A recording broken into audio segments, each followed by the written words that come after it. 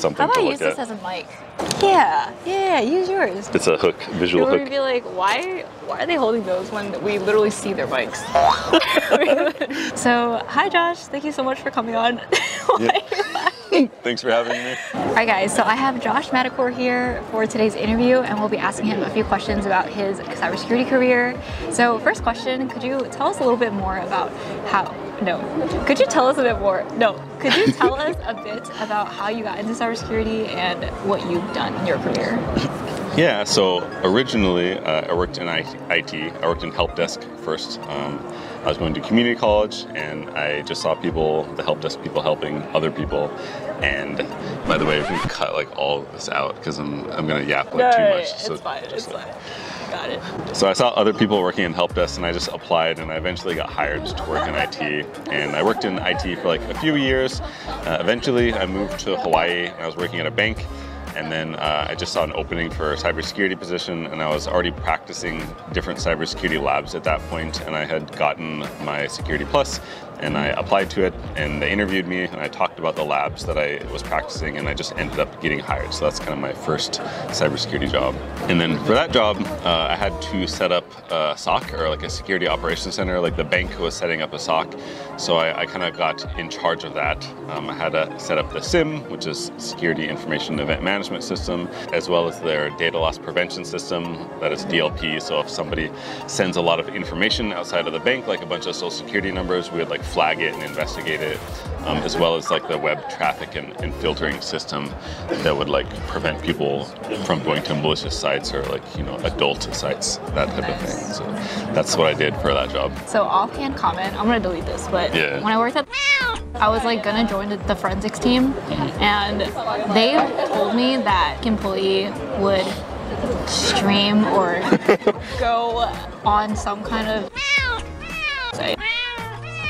have to report them Just- to the police. Just like a different person every couple. yeah, it happens way more often than you think. That's crazy. On their work machine. Bro, they're, Isn't that they have to be dumb to be. Yeah, doing do they that. not know? Maybe it's because they don't want it on their personal computer and they somehow think You Better use one. use my work laptop, bro. So, what do you think made the biggest difference getting into cybersecurity? Was it your certs? Was it your past experience? Um, it's probably a combination of all of those things. Um, definitely, like you can't just get a cert and then get a job.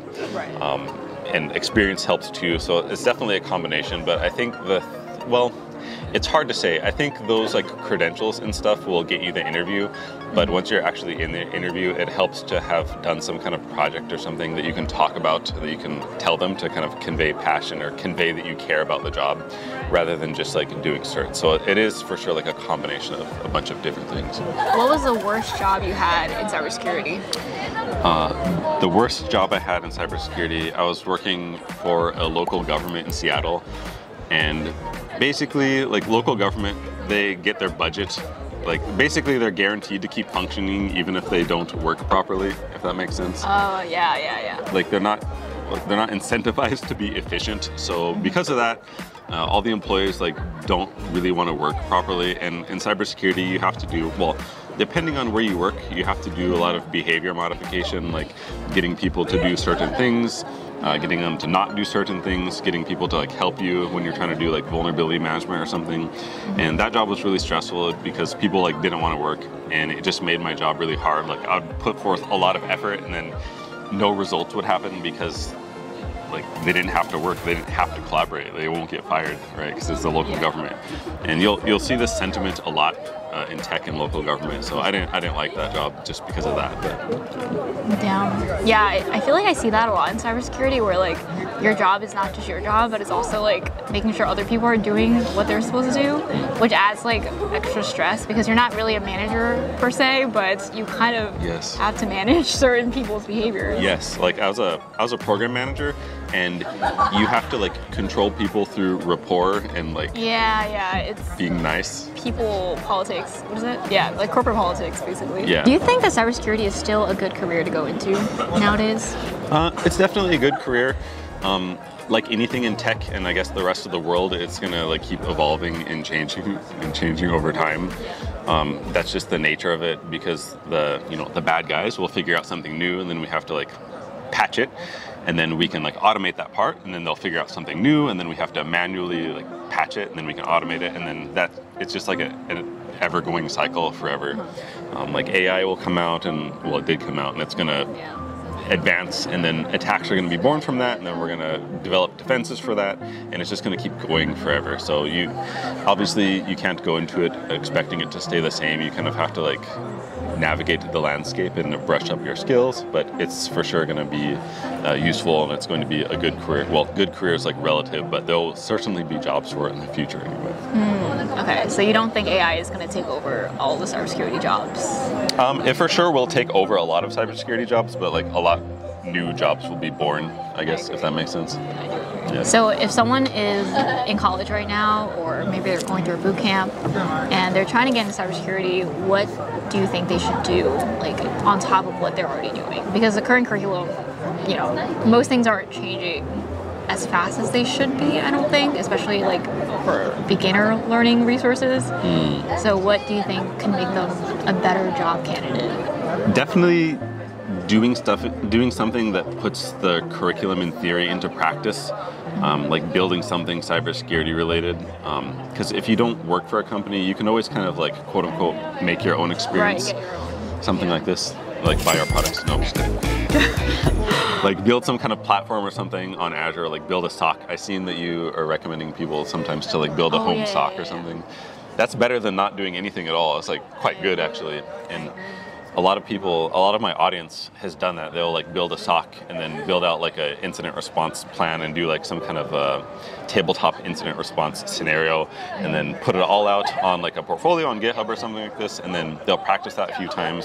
And the more you practice it, the easier it is to articulate once you get into an interview, and it's just going to help you a lot more than like the person next to you who maybe did, they just graduated and they didn't really do anything with their theory, if that makes sense. Mm-hmm. Yeah, I agree. Because I feel like I've done a lot of resume reviews where people are like applying to hundreds of jobs and they're like, but I'm not hearing anything back. And I look at their resume and it's usually like they have their Security Plus and then maybe like a random like online course or cert, hmm. and they don't have any projects. It's really just, I think that's the biggest issue because even if you have the certs, if you don't have the experience to showcase like your technical capabilities, then a recruiter isn't gonna send you to the hiring manager because they're gonna think you won't be able to pass the interview. Hmm. But I don't think a lot of people think from the recruiter's perspective as much as they should when they're in the job hunting process. Yeah, yes, I agree. I agree with this for sure. It's really important. All right. So I guess last question we could do. Would you say working in cybersecurity, have you liked your jobs? Do you like what you currently do? And do you recommend it to other people? Um, I like some of my jobs. Um, the job that I liked the most was not in local government, and it had a decent amount of coding involved.